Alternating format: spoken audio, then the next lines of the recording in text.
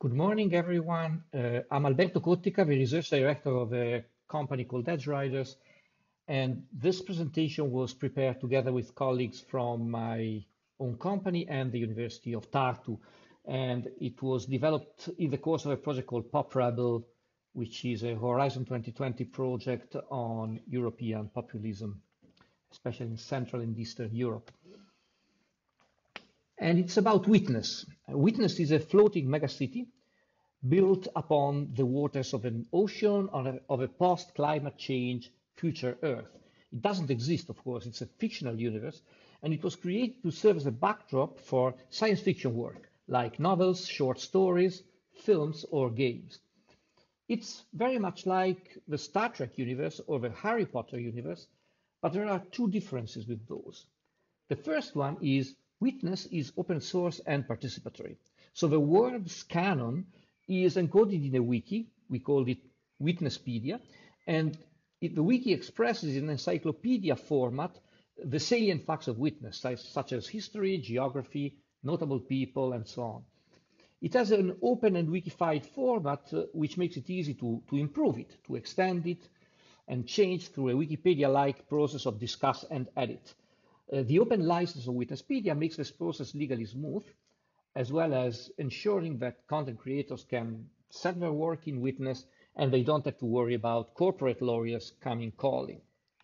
And the second difference is, as fictional universes go, Witness is unusually detailed when it comes on in-world economy, including its economic institutions, such as currencies, central banks, and planning authorities, economic policies, prevalent economic theories, and economic history.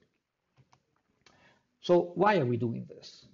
Well, because there are indications that our current way to organize the economy and our way to know and prioritize economic facts, which we call economics, might be incompatible with the long-term viability of a sophisticated civilization in the wake of climate change and the environmental crisis at large.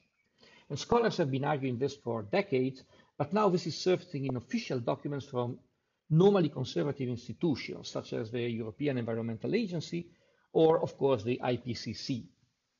And now economics used to be the field where speculative alternative systems were dreamed up and compared against the current ones.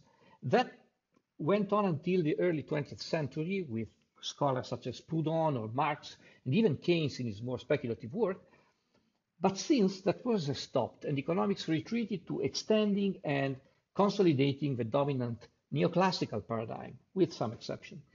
And as Fredric Jameson famously said, it is easier to imagine the end of the world than the end of capitalism.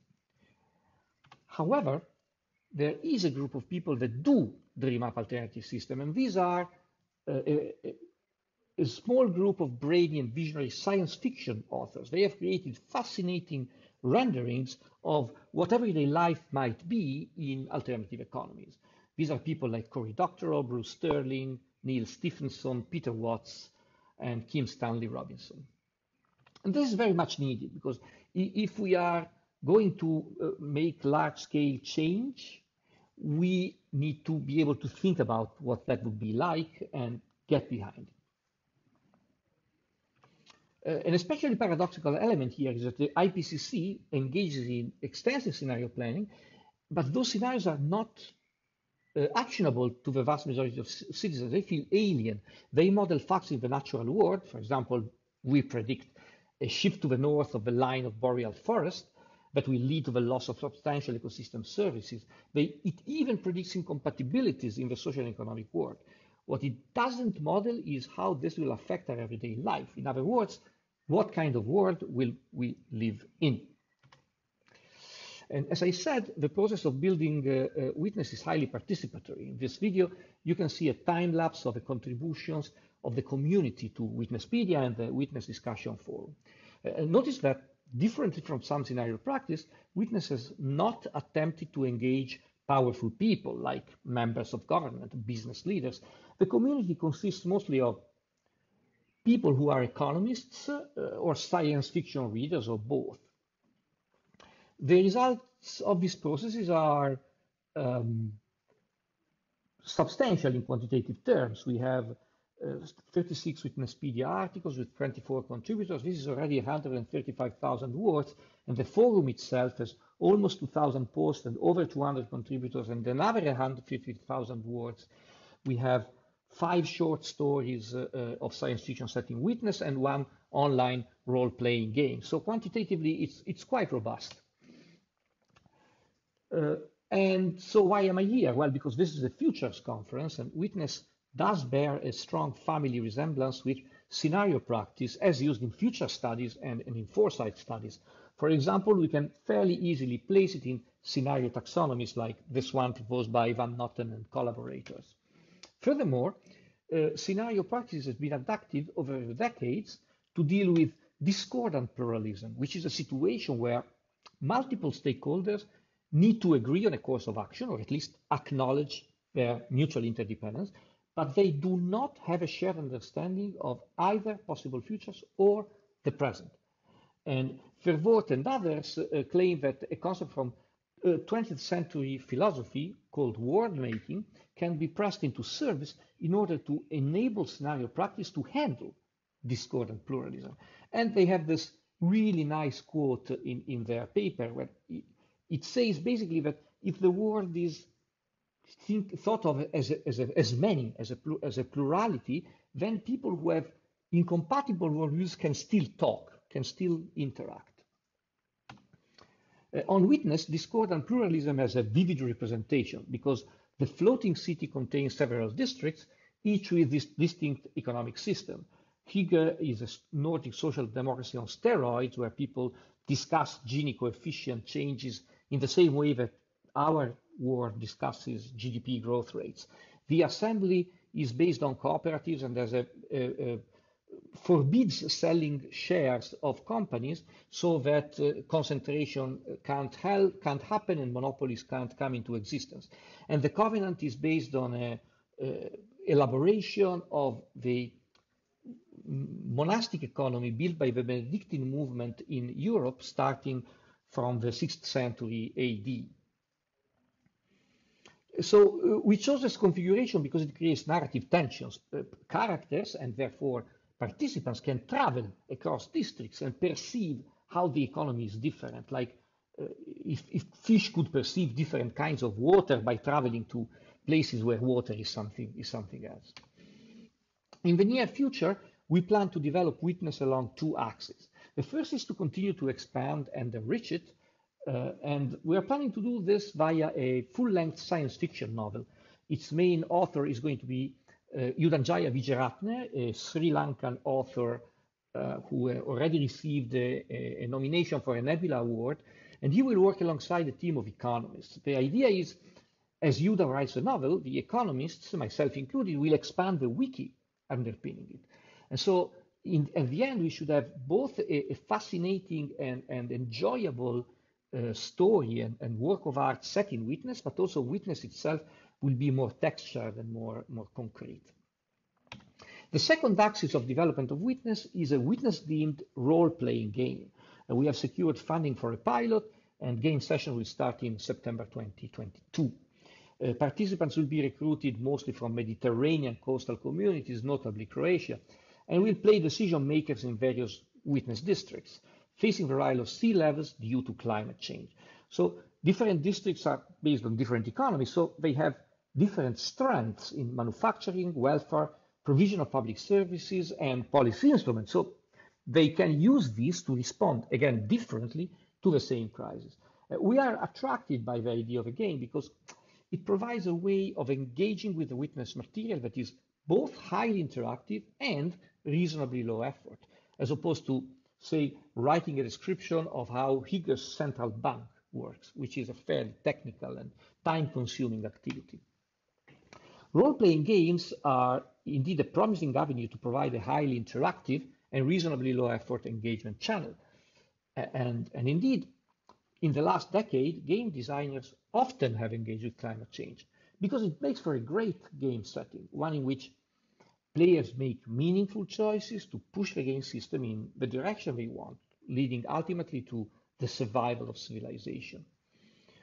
Uh, so in climate change, we deal with large-scale, high-stakes transformations, Um, and that creates a situation where uh, one, people perceive an urge to act, but two, they cannot enact change by themselves, but need the cooperation of others. And three, they cannot enact change directly. We cannot simply dissipate CO2. We have to change our societies and economies so that the CO2 will be sequestered. Situations like these are great settings for games, and uh, indeed, uh, we have found at least two uh, uh, notable examples of games that approach this complexity in an open-ended scenario. And uh, these are called World Without Oil from the Institute for the Future and the World Bank's Urgent Evoke. Uh, both games explore possible crises and hypothetical futures engaging with collective intelligence. And uh, the, the engagement of players was long. It, playing a game like this takes eight to 10 weeks and it's organized around the crisis response uh, gameplay. So the, the game throws a crisis at you, and people have to uh, create some kind of content in which they address, they suggest how to address the crisis. And both games were presented as real life relevant.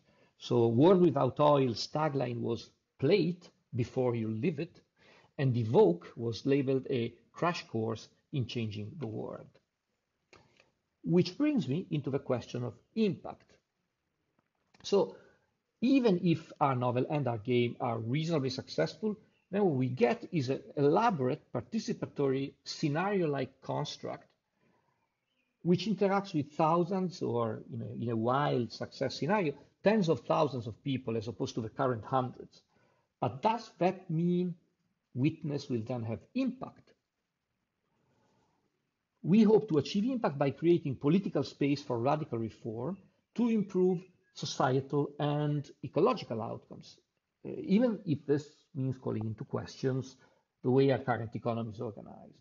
And how is political face, space created? Well, we hope it's created by fostering the awareness that the solution space is broader than formerly thought. We can do things that are currently out of the Overton window. And indeed, games have a considerable track record for awareness raising using scenarios. Uh, so despite, various problems, uh, World Without Oil and Evoke did manage to attract large communities. Evoke had 8,000 players. Players had to research solutions that they could deploy in order to get through various crises, including global energy shortages, pandemics, and access to water. And there is no doubt that the players of those games did find themselves with substantially raised awareness of the various systems supporting our lifestyle. But awareness is not yet change. Uh, Witness was born as a thinking tool for a specific group of people, and it has worked quite well to improve our ability to imagine our own lives in different economic systems. So its impact was meant to be in terms of individual learning. And now we are left wondering, as we grow the project, is it realistic to foresee a second order impact as that translates into action and that action into change? Scenario Party started back in the days of Rand Corporation, and at that time, its impact was straightforward. People with the power to make important decisions got to make better ones because of scenario practice. So from the seminar room, the policy was born, and from the policy, the change. But it is not clear how much this holds when the seminar room becomes a wiki, the participants are many and self-selected, and importantly, the effort and time investment needed to reap the learning benefits of creating witness are much larger than simply participating in a workshop. So the main trade-off that we see here is between effort and depth of the learning. If you choose to go for high effort and deep learning, as we did, many powerful people with busy calendars will simply not engage. So impact must rest on action undertaken by people in the witness community itself. And most of us are not that powerful. So in Croatia, we'll be targeting especially civil society activists on environmental and societal issues in the hope to energize them and give them new tools for our advocacy. But that seems to be a very uncertain ground to promise impact. And so as a conclusion, Project Witness emerged as a thinking tool for economists in search, in search of a theoretical inspiration. itself stimulated by growing evidence that the dominant paradigm in economics, neoclassical theory, has now become a liability, an obstacle to much needed radical reform. However, witness shows a strong family resemblance with scenario practice. So the two, witness and scenario practice, share some fundamental questions, like how to make collective choices in the face of discord and pluralism, and challenges, how to elicit the investment of time and attention needed for both to deliver the benefits. So I would like to end this presentation with a set of questions to this conference. Uh, given the similarities, your discipline has surely encountered problems similar to those of witness. How did you solve them? What are the main trade-offs you encountered? For example, is it more impactful to involve a small number of powerful, very busy high-level officials for one 45-minute session, or rather to build a self-selected community of participants that have time and passion, but not necessarily a lot of power? And with that, I'll leave the floor uh, to you for your questions and hopefully for your answers.